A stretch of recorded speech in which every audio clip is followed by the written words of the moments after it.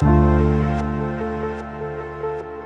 everyone, my name is Ryan Sweetlow and I would like to extend a very warm welcome to you all as members of the WHPS family. I'm the Deputy Head of Pupil Affairs. Along with Penny Villa, heads up pupil support, as well as several therapists, we comprise the WHPS support department. Penny and I have offices at the WHPS Pupil Centre. We work as a team, dealing with emotional, mental, spiritual wellness of the WHPS.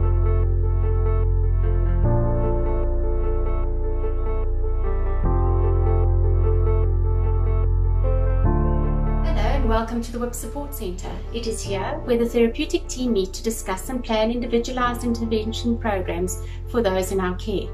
I am a registered counsellor and am responsible for providing academic support in maths and English for boys in grades 1 to 7 and emotional support for those who require these services.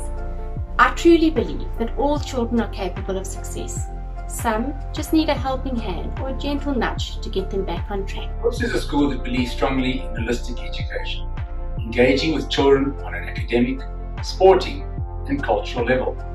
It also means connecting with children emotionally. After all, it is only in, care, in a caring environment that our boys and girls can become confident young adults. It is only in a caring environment that they can learn to work hard and play straight. We place great value in this caring environment where children can grow and develop, make mistakes and learn and fall and then get up and start again. As head of pupil affairs, I aim to foster relationships between your children. Learning to get along with one another is infinitely harder than most difficult of academic challenges. Long after we have forgotten what we have learned in the classroom, we will still be challenged by the relationships that we face one day at university, in the workplace, and in our personal adult lives.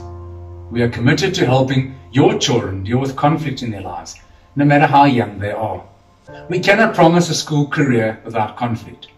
On the contrary, it is only through conflict in our relationships that we start to grow as people, that we start to be more forceful, more intuitive, more assertive, that we learn to distinguish and discern, that we gain in confidence. On the subject of confidence, self-belief is vital and probably the most fundamental factor in lasting success and happiness. For many of us, it must be awoken and developed. Corrective action is critical as we teach boys about being accountable for their actions by giving something back, by paying it forward, and by making amends to those we have hurt.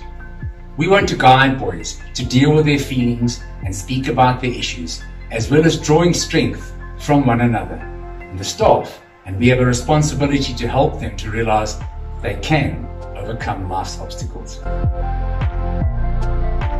I'm Tremaine, the occupational therapist. And I'm Simone, the speech therapist. And let us show you our centre. Please follow me.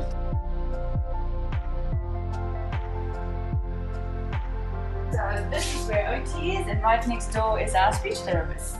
At occupational therapy, we help our children with their sensory integration, we help them with gross motor and fine motor skills, as well as perception and school-related tasks.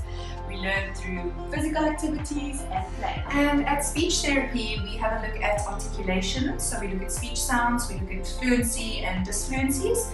We look at language, we look at phonological awareness skills, as well as auditory processing skills as well. And we also learn through play, games, and lots of fun activities. So my name is Lindy, and I do emotional counseling with kids through play. So um, I help them with all kinds of emotional issues. Use a lot of fun activities, games, sand tray, role play, drawings, pictures, arts and crafts. Uh, so the kids have a lot of fun.